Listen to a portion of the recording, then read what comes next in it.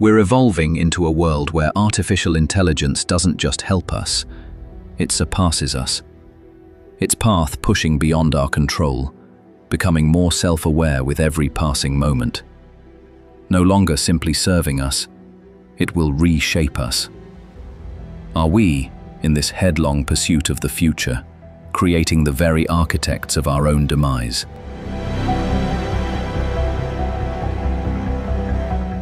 The concept of the singularity, the point when artificial intelligence exceeds human intelligence and becomes self-sustaining, was first proposed in the 1950s. John von Neumann, a visionary physicist and mathematician, predicted that technology would eventually outpace human capacity, transforming the world as we know it.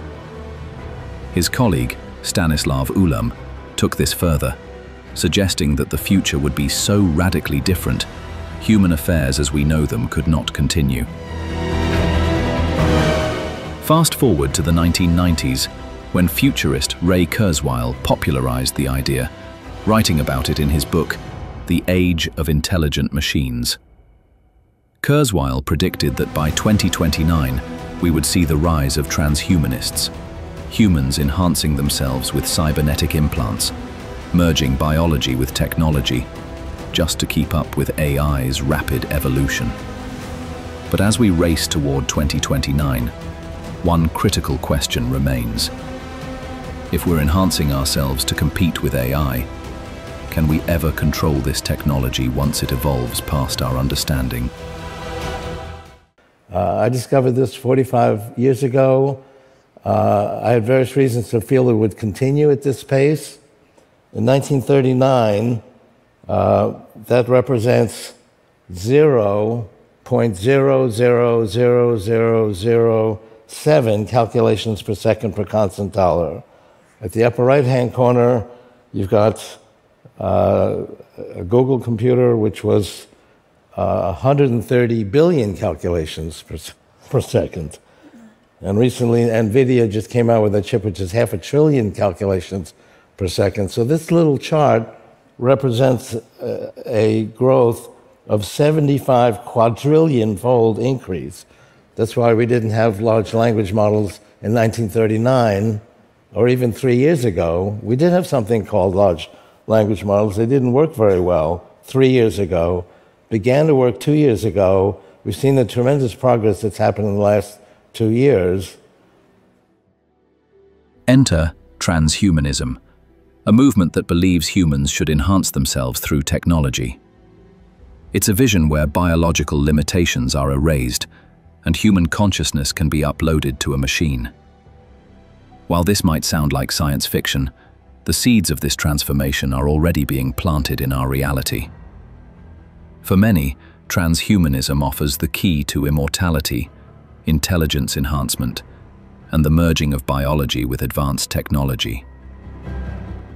But what happens when the desire for progress pushes us too far? As we rush towards the singularity, we're left to question. Could our quest for enhancement be humanity's greatest downfall? Will we evolve into a new species? Will humanity divide into separate classes, the uplifted and the normals? Or will AI leave us behind entirely? In his 2005 book, The Artilect War, Hugo de Garis, a neuroengineer, warned of a deadly future where humans are divided over the creation of artilects, massively intelligent machines. Though leaving the transhumanism component, de Garis foresaw a global war between those who wanted to build AI gods and those who feared they would destroy humanity. He even coined the term giga death, predicting billions of deaths as a result of this conflict.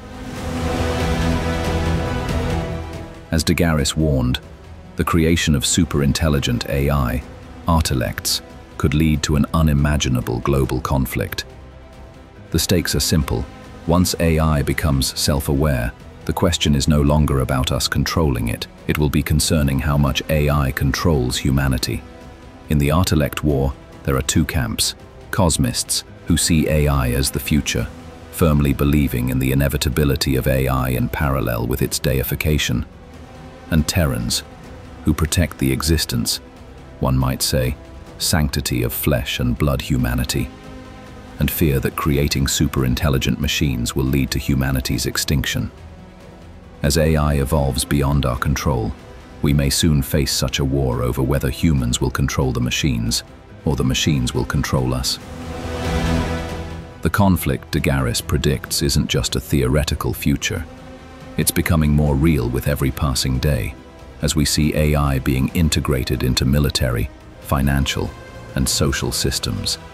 The question is, will we be ready? AI is no longer confined to laboratories or distant theories. It's here, in our homes, our businesses, our governments. AI is shaping the future, whether we're ready or not. From self-driving cars to autonomous factories, AI is taking over the systems that run our lives. Our opinions are shaped, even manipulated, by just the results we are shown in search engines. We are socially engineered, dopamine-dependent beings managed by intelligent algorithms. Our minds can't fathom what a superintelligence can do next. So what happens when AI is no longer a tool we use, but the force that controls everything we do? AI already has immense power in surveillance and warfare. What are the steps for AI to truly take control? Humanity is contending with a new force of nature we don't understand, an unstoppable entity that already is shaping our world, and we're rapidly losing control.